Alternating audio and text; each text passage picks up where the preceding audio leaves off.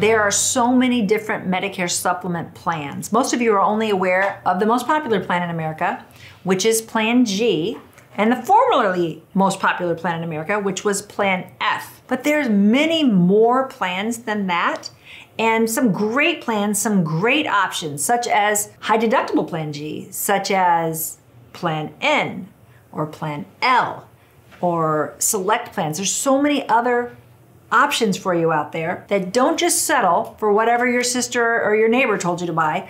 Talk to our family and let us really explain to you all the different options of Medicare supplement plans and all the nuances between the different carriers. We represent over 200, I think it's 220 different companies.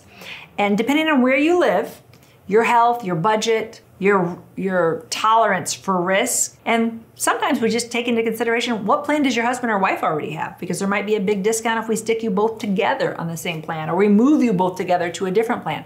There's a lot to consider when you're deciding how you want to supplement your original Medicare. We want you to find some kind of supplemental care because we don't want you to have just original Medicare and find out the very, very hard way that Medicare has huge gaps in it and that you could be out $100,000 easy if you don't have some type of supplemental care.